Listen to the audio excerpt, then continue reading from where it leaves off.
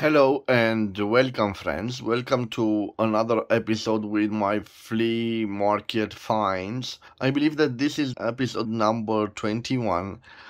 I went this Saturday at the flea market and I found there these items you see on my desk. Well, um, probably you know there is an entrance fee of 3 leis or approximately 0.61 euros or 0.59 American dollars. And I must tell you that all that you can see here on my desk and the entrance fee cost me a total of 80 leis or only 16.21 euros or 15.76 American dollars. And let me start this video with the writing instruments and then I will show you the other items I found at the flea market. So for the person watching this video interested only in uh, writing instruments, the first part of it will be of the writing instruments. And in fact, I found uh, only two writing instruments, but I think they are quite, quite interesting. And let's start with this fountain pen. I bought it as it is, without its uh, cap and I instantly recognize it is a Flaro product.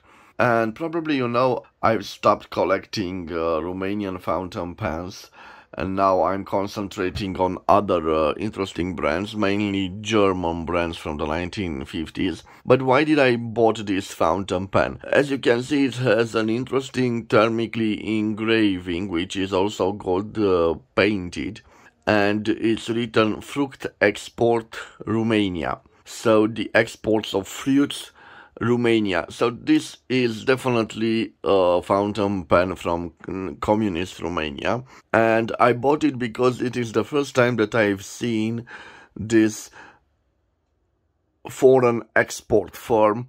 You must know in communist times they needed hard currency, mainly dollars and Deutsche Marks or uh, sterling pounds and they created these firms that exported different different products to western countries from the western bloc the capitalist bloc.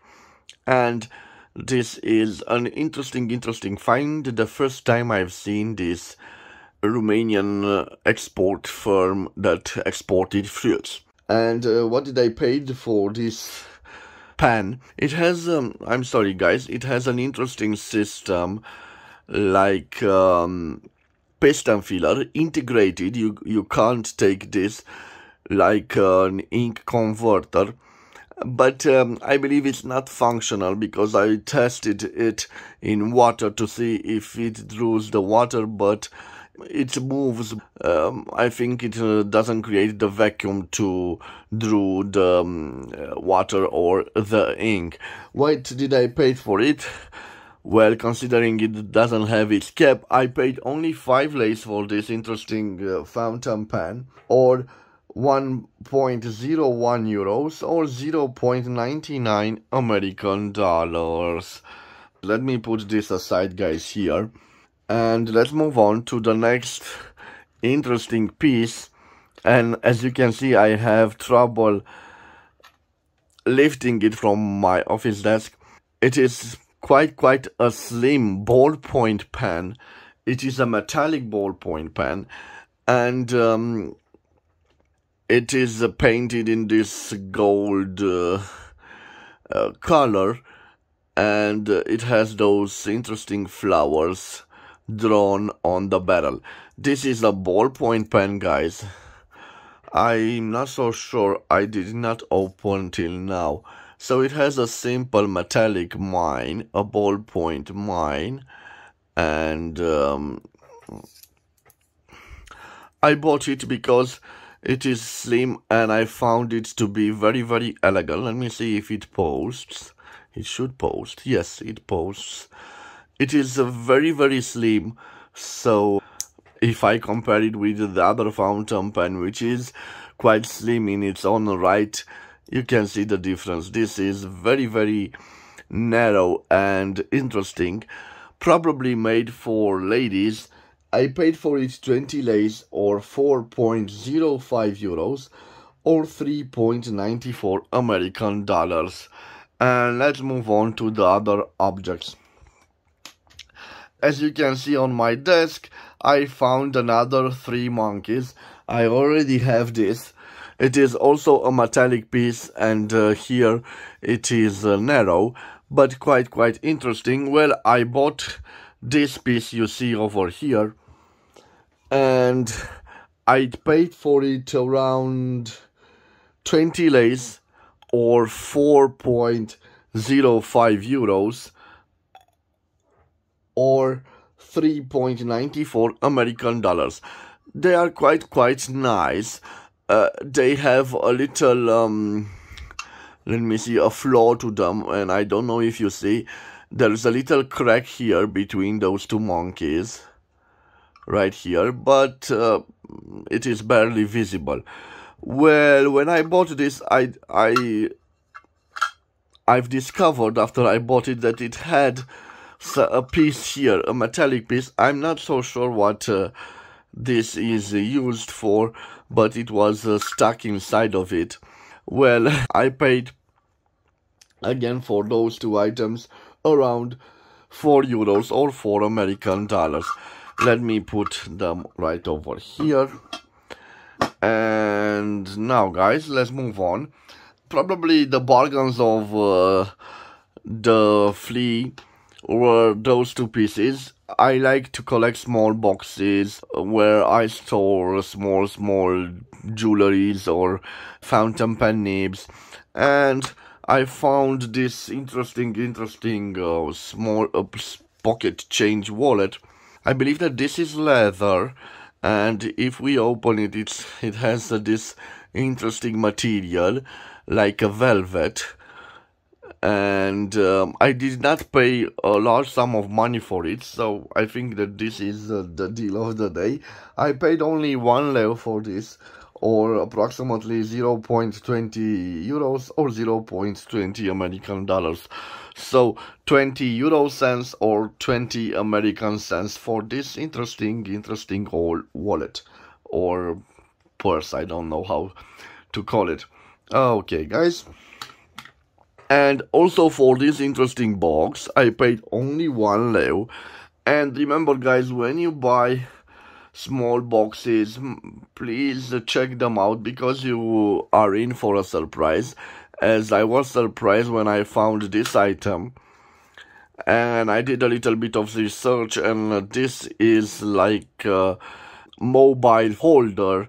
You can put it like this. You can put your mobile phone like this and use it to watch movies or something like this this is an interesting and clever idea. It seems like brand new. It it isn't uh, worn or something like that. And I found it in this old old box. And again, I paid for this old box. And by the way, guys, this is a uh, wood. This is wood, a wooden box.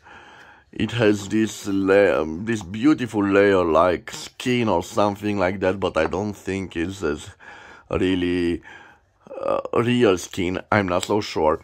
But it was uh, at a good price, so only one leu. Again, 20 euro cents or 20 American cents for this interesting box. And this was bonus because I found it inside of it. And uh, I left uh, the beautiful ones for the last. I have two items here and I bought them as a lot guys. I paid for both of them 30 leis or 6.08 euros or 5.91 American dollars. So uh, around 3 euros or 3 American dollars a piece. And I will start with this beautiful, beautiful small box. It has, um, I believe, painted on it this owl and uh, on the sides uh, there are also interesting motifs. It has this beautiful beautiful blue uh, side to it. And if we open it it has the same beautiful beautiful blue lacquer. So for only three three euros i think i'm i've uh, made a deal I don't know what I can store in this because it's quite quite tiny as you can see but it is a nice piece. Let me see. Yes I've managed to close it. So this and this. I've searched on the internet and I believe that this was made in Spain for tourists. It has this fish and uh, there are other motifs here I believe that they will use for aperitifs. So like uh, uh, this you used uh, on uh, festive tables and they have this marine theme a little horsey and um, a little fish and other other interesting interesting motifs so I have five.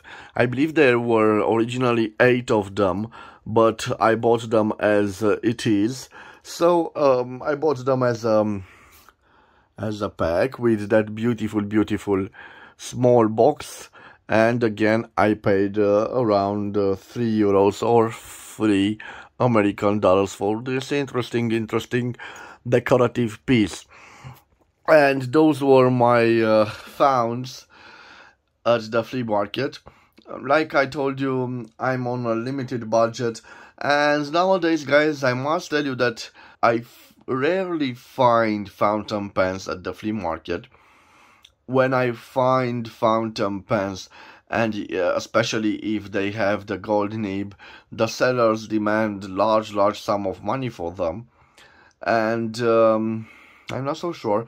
Maybe, maybe the market is uh, changing in my country maybe the sellers are aware that uh, lots of us collect fountain pens.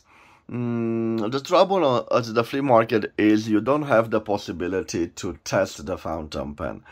So, probably if it is an old fountain pen, you have to um, spend money to restore its filling mechanism. And uh, sometimes when uh, you are excited buying a fountain pen with a gold nib, you must be very, very careful to study that nib because if one of the tiny, tiny legs or tip of the nibs has lost that iridium coating, then probably the um, cost of restoring that nib is very prohibitive. So you, when you buy a, um, um, a piece at a flea market, you never know what you get. You never know what you can get. So my advice to you guys is negotiate. Always negotiate. Don't be bothered if the seller wants a high amount of money. Uh, you always make a counter offer and you will see if you um, receive a positive response or not. But bear in mind that after you buy a vintage, an old object from a flea market, you must restore it. You must clean it.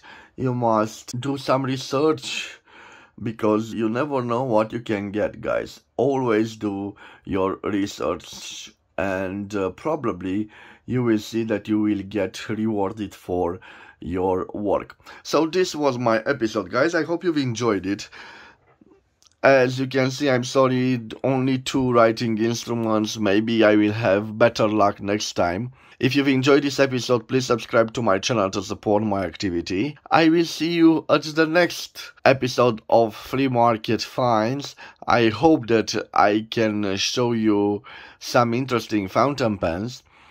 Till then, bye bye, guys. Have a wonderful day wherever you are, and God bless you all.